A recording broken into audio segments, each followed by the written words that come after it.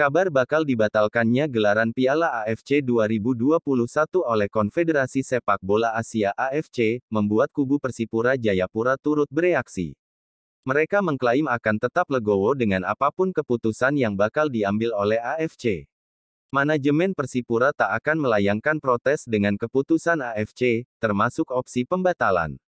Manajer Ridwan Madubun alias Bento mengatakan pihaknya akan tetap menerima apa pun keputusan AFC, itu kan menjadi kewenangan AFC, apa yang akan diputuskan mereka sudah pasti akan kita ikuti, kita tunduk dan taat pada keputusan AFC.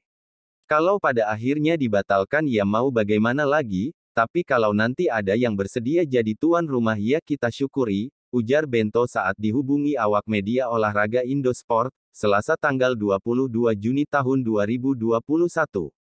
Seperti diketahui, sehari sebelumnya beredar kabar yang menyebutkan jika Sekretaris Jenderal Sekjen AFC, Datuk Winsor John mengatakan pihaknya akan mengambil keputusan setidaknya hingga pekan depan terkait ketidakjelasan tuan rumah fase grup Piala AFC, pasca mundurnya Singapura.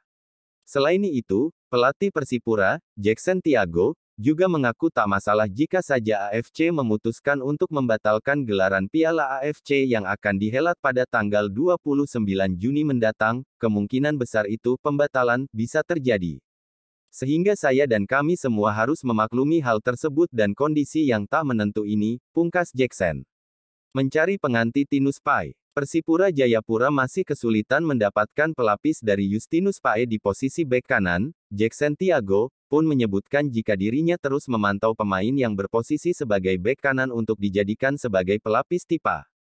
Namun sampai saat ini, Jackson mengaku belum mendapatkan pemain yang ia inginkan. Hanya saja, juru taktik asal Brasil itu mengungkapkan sempat ingin mendatangkan pemain asal Papua yang pernah bermain di klub sepak bola Perseru-Seru Idot dan sekarang bermain di Rans Cilegon pemain tersebut yakni Makarius Fredik Suruan, ketertarikan Jackson dengan performa Makarius, sejak sang pemain masih bermain di Borneo FC pada Liga 1 2019 dan 2020.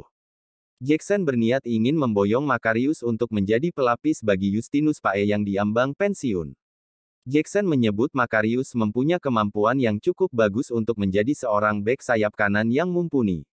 Ia bahkan tak ragu mengatakan jika sang pemain adalah sosok yang ideal untuk diproyeksikan menjadi pengganti bagi Tinus Pae di tim kebanggaan masyarakat Papua tersebut.